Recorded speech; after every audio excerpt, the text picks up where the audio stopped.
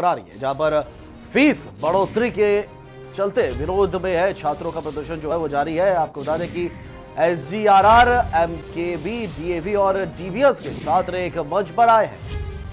तो एच विश्वविद्यालय के कुलपति का भी पुतला फूका गया है और विरोध दर्ज किया है। पुतला फूक कर सभी छात्रों ने एच विश्वविद्यालय के खिलाफ लगाए हैं। जमकर नारे बड़ी खबर इस वक्त की राजधानी देहरादून से। फ़ीस बढ़ोतरी के विरोध में छात्रों का प्रदर्शन लगातार जारी है। एच विश्वविद्यालय के कुलपति का पुतला फूक कर अपना रोष व्यक्त किया है छात्रों से। तमाम डीवीएस डीएवी के साथ साथ अन्य विद्यालयों के जो छात्र वो अब एक मंच पर नज़र आ रहे हैं। बड़ी खबर इस वक्त की, राजधानी देहरादून से। तो फ़ीस बढ़ोतरी के विरोध में प्रदर्शन जो है, वो लगातार छात्रों का जारी है। आपको बता दें कि S D R R MKV DAV और डीबीएस के छात्र एक मंच पे हैं। और ज़्यादा जानकारी साथ हमारे सहयोगी कनिष्क सिंह हमसे जुड़ चुके हैं। कनिष्क आज से जानना चाहेंगे तमाम छात्र जो है कई विद्यालयों के अब एक साथ एक मंच पर आ गए क्या कुछ और ज़्यादा जानकारी मिल पा रही है इस खबर के लिहाज से? कनिष्क आप मेरी आवाज़ सुन पा रहे हैं? आपसे पूछना चाहेंगे क्या कुछ और ज़्यादा जानकारी मिल पा रही है इस विरोध प्रदर्शन के लिहाज से? बिल्कुल बता दूँ मैं कल फैसला आया था जो परीक्षा शुल्क है वो छात्रों का सात सौ रुपए बढ़ाकर कर दिया गया है। इसके बाद से लगातार छात्र मुखर थे।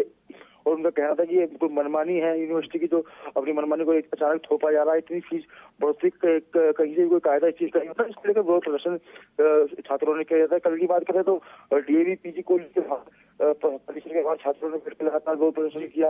यूनिवर्सिटी के खिलाफ नारेबाजी करी कुलपति का पुतला दहन किया था। अगर आज की बात करें तो लगातार जो छात्र है जो तमाम जो अलग अलग जो कॉलेज है, जो एफिलेटेड है, जिनमें गढ़वाल यूनिवर्सिटी से, चाहे वो एच हो, चाहे वो डीबीएस हो, चाहे वो डीएवी हो, चाहे एमकेबी हो, सभी छात्र एक मंच पर आ गए और एक मंच पर आकर उन्होंने साफ़ संदेश दिया कि अगर ये फ़ीस बढ़ोतरी अगर वापस नहीं की तो हम्म। जो निश्चित तौर पर जो छात्र छात्राएँ हैं सड़कों पर उतर के छात्रों द्वारा जो इतना बड़ा आंदोलन का रूप ले लिया गया है फ़ीस बढ़ोतरी को लेकर के विश्वविद्यालय प्रशासन की तरफ़ से क्या इस पर कोई बातचीत छात्रों से बातचीत करने की कोशिश की गई है बिल्कुल लगातार छात्रों का साफ़ तौर पर कहना है कि उनके द्वारा संपर्क करने की कोशिश की जाए चाहे वो प्रधानाचार्य के माध्यम से हो चाहे वो लेक्चर के माध्यम से हो लेकिन किसी भी तरह का कोई आश्वासन अभी एच गढ़वाल यूनिवर्सिटी को नहीं मिला है। उसको लेकर प्रदर्शन लगातार जारी है। हम्म। तमाम जो छात्र है उनको कहना है कि उन्हें ठोस आश्वासन मिले।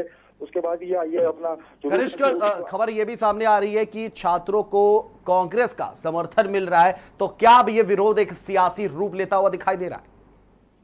बिल्कुल बिल्कुल निश्चित तौर पर देखा जाए अगर जो छात्र संगठन है जो एनएसवाई जो कांग्रेस से जुड़ा हुआ है चाहे युवा कांग्रेस हो लगातार इन। छात्रों के संपर्क में है। आयुष छात्रों के बाद वो इन छात्रों के संपर्क में है। उन्होंने साफ़ तौर पर कह रहा है कि आयुष छात्रों के साथ जिस तरह सरकार मनमानी कर रही है उसी तरीके से इनके साथ भी सरकार सरकार द्वारा मनमानी की जा रही है फिल्मी गढ़वाल यूनिवर्सिटी द्वारा मनमानी की जा रही है। तो कांग्रेस का भी साफ़ तौर पर कह रहा है कि अगर इनकी बातों को नहीं सुना गया बड़े हम्म। शुल्क को वापस नहीं लिया गया तो वो भी इनके साथ आगे आंदोलन करेगी जी। चलिए बहुत बहुत शुक्रिया करिए तमाम जानकारियों को बताने के लिए। नज़र बनाए रखिएगा आपसे लगातार संपर्क करते रहेंगे। इस वक्त की बड़ी और अहम खबर देहरादून से आपको बता दें फ़ीस बढ़ोतरी को लेकर के छात्रों का प्रदर्शन जो है वो अब बढ़ता ही जा रहा है। तमाम कॉलेजों के छात्र अब एक मंच पर आ गए और इनको अब रिस्वाई यानी कि जो कांग्रेस का की विंग है, छात्र की, उसका समर्थन मिल रहा है। तो अब सियासी रंग ये विरोध प्रदर्शन लेता हुआ दिखाई दे रहा है।